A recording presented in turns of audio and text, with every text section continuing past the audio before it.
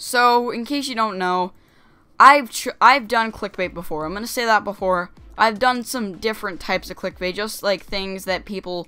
Well, it's not real clickbait, it, but it's just um doing things that are popular at the time, which isn't really that clickbait. Clickbait is where you do something that's you do something that um like in the thumbnail or in the text in the title that will get someone to watch it immediately, and then they don't get what they want.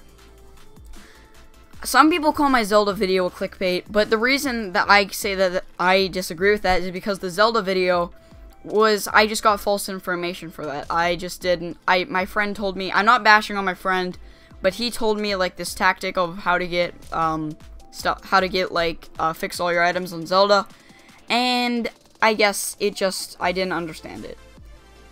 But this guy Durv, I just there are no words to describe him. There is nothing there is nothing that makes this this okay. So what am I talking about? Well, Durv he is a channel with almost 1.5 million subscribers. And you know how he got that? First of all, I know how he got that in the beginning of all of his videos. He said, Alright guys, if you want a free giveaway of gift cards, subscribe and it skyrocketed and that's how everyone every everywhere is subscribing to him. But a lot i'd say maybe 98% of all of his videos are clickbait. So let's look at some of the um some of the videos that are clickbait. Calling jesus 1 omg he answered. Calling the devil he answered. 666 scariest killer clown sightings ever. The most insane water bottle flip flipping ever. Calling a killer clown, he actually answered OMG, creepy Candyman challenge gone wrong. The killer clown calls me calls me back. OMG so creepy. Killer clown, killer clown, killer clown.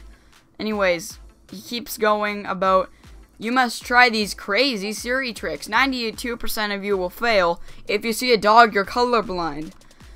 Calling the evil Santa Claus. Charge iPhone to 100% instantly. Life hacks. 20p challenge gone horribly wrong. Never have I ever kissed a girl. Hot chili, I hot sauce, and then it keeps keeps keeps going on until it gets out of hand. The video that all my friends get um, joke about is the fact that he made a video about I FaceTimed the boss baby and he actually answered, "Aww." Yeah, he made that video. He's also made videos today like, which fidget spinner is different? Can you see the yellow fidget spinners in 30 seconds? 3% of you can't see a fidget spinner. Can you? Yeah. But the thing that I find inexcusable about Durv is the video he made saying, I held my breath for 24 hours legit.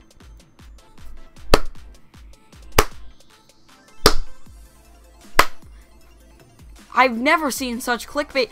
And the thing is, your videos, all of them pretty much are just straight up to, for clicks. And the thing is, YouTube's algorithm isn't even for clicks now. It's just for viewer retention, which is not is not like any is not how it works anymore.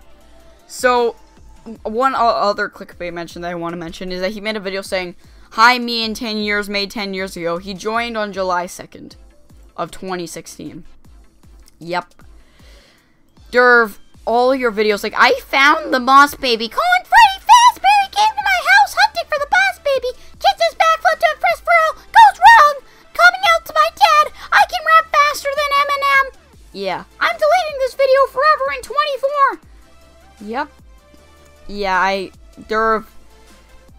Impossible mind trick test. 93% fail.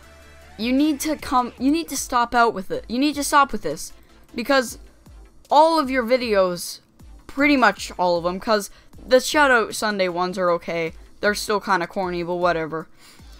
Your clickbait videos, what even is the point? What What is the point in just getting people to watch the video?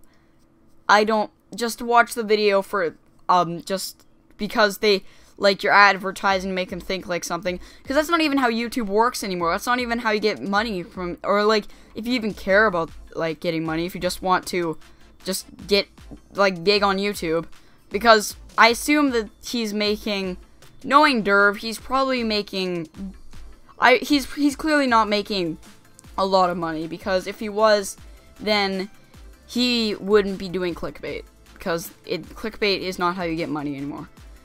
But Durv, what is your goal? What is your final goal with all this clickbait? Just to get a bunch of people to hate you? Because that's what you're doing. Alright guys, hope you enjoyed this video. Please leave your thoughts on this in the comment section below. And see you.